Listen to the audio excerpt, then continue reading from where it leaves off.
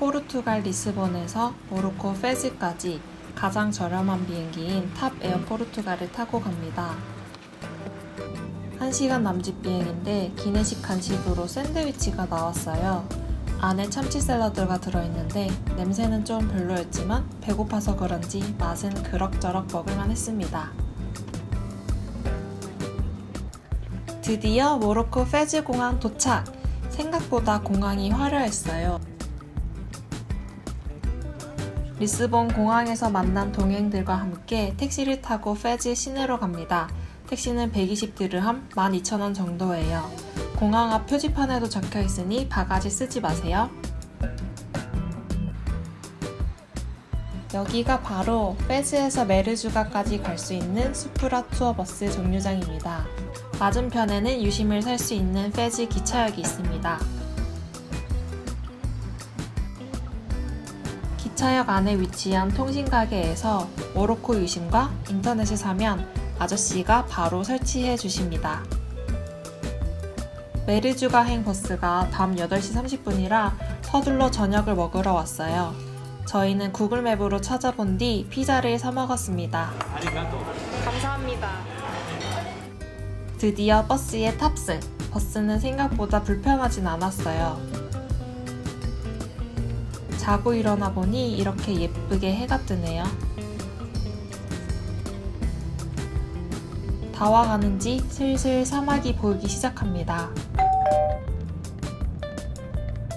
저희가 탄 버스 기사님이 초보라 무려 3시간이나 더 걸렸어요. 내리자마자 알리네 하우스 픽업 차량을 탔습니다. 너 모로코 사람? 너 모로코 사람? 아니? 아니 왜 왜? 찬스 찬스 한국 사람 모로코 사람 한국 좋아? 맞아 저런 거는 하나. 버스 정류장에서 차 타고 2분도 안 걸려 도착한 알리네 하우스 정문. 짐 내려놓자마자 30디르함 주고 조식을 사 먹었어요. 저희는 체크인 안 하고 바로 사막으로 갈 겁니다. 사막 가기 전 모로코 전통 의상인 질레바를 구경하러 왔어요. 알리네의 마음에 드는 게 없길래 근처 상점으로 왔고 저는 바지를 하나 샀습니다.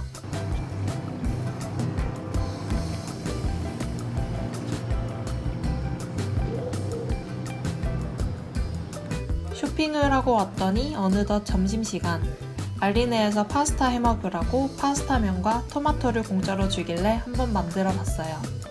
주방은 이렇게 생겼습니다.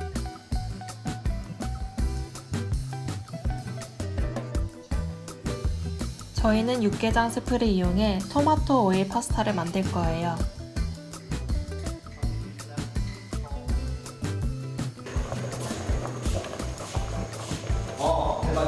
결과는 대성공적! 마늘, 토마토, 올리브오일, 소금, 후추, 라면 스프만 들어갔는데 정말 맛있었어요. 훌륭해. 역시 육개장이 살렸어. 먹자. 와인 한병 따야겠네 지금. 후식으로 멜론도 주길래 먹었는데 진짜 이렇게 맛있는 멜론은 처음이었어요. 다음 영상에선 사막 이야기가 계속됩니다.